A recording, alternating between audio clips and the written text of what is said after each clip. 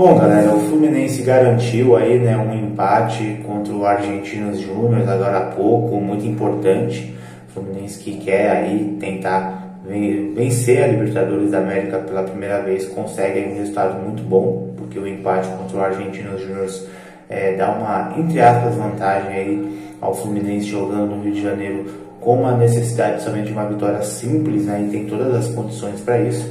A equipe do Fluminense tem muito mais condições aí de se classificar para as quartas de final, é favorita sim, né, essa classificação, vai jogar em casa, tenho certeza que tem todo o favoritismo aí a poder se classificar para as quartas. Então o Fluminense consegue aí garantir né, um resultado muito importante, marcou o gol no finalzinho, então estava perdendo e conseguiu um empate no final e isso foi muito importante para o Fluminense garantir um empate e precisar somente de uma vitória simples no jogo de volta contra o Argentinos Júnior. Então é isso aí, galera. Até a próxima e valeu!